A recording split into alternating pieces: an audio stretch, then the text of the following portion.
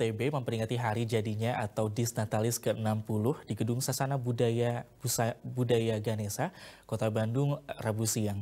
Dalam Disnatalis kali ini, Institut Teknologi Bandung menganugerahi gelar doktor kehormatan kepada Profesor Finn Erling Kidland sebagai peraih Nobel Ekonomi tahun 2004, serta kepada dosen-dosen berprestasi di kampus ITB. Institut Teknologi Bandung atau ITB memperingati hari jadinya atau Disnatalis ke-60 di Gedung Sasana Budaya Ganesa, Kota Bandung, Rabu siang. Dalam Disnatalis kali ini, Institut Teknologi Bandung menganugerahi gelar doktor kehormatan kepada Profesor Finn Erling Kitland sebagai peraih Nobel Ekonomi tahun 2004, serta kepada dosen-dosen berprestasi di kampus ITB.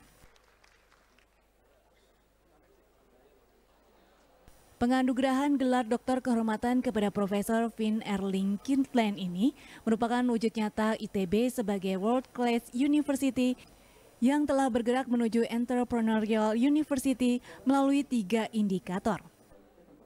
Baik pemirsa, hari ini Rabu 6 Maret 2019, Institut Teknologi Bandung memperingati Disnatalis ke-60 di Gedung Sabuga. Dalam peringatannya kali ini, Institut Teknologi Bandung memberikan penganugerahan dokter kehormatan kepada Profesor Finn Erling Kidlen. Beliau adalah peraih Nobel Ekonomi di tahun 2014. Penganugerahan tersebut merupakan wujud ITB sebagai World Class University yang kini telah bergerak menuju Entrepreneurial University melalui tiga indikatornya, yaitu Excellence in Teaching and Learning, Excellence in Research, dan Excellence in Innovation and Entrepreneurship. Pada Disnatalis ini, ITB berharap dapat terus memberikan kontribusi kepada bangsa dan negara melalui ilmu pendidikan. Jadi ini ada beberapa rangkaian yang kita jalankan di ulang tahun ke-60. Yang pertama tentu peringatannya itu sendiri.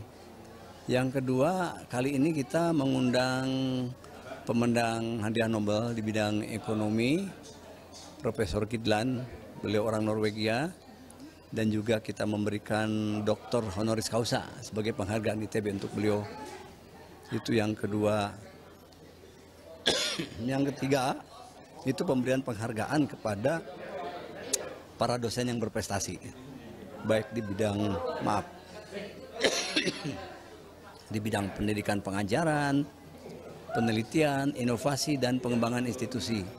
Jadi ini empat acara besar yang kita rayakan di hari Disnatalis kali ini. Ya. Diharapkan pada Disnatalis ke-60 ini, ITB sebagai perguruan tinggi negeri dapat terus berkontribusi untuk kemajuan bangsa dan negara, terutama dalam dunia pendidikan. Selain itu, ITB pun dapat terus mencetak lulusan dengan sumber daya manusia yang dapat berpengaruh baik di level nasional maupun internasional. Osi Devani, Yuwana Kurniawan, Bandung TV.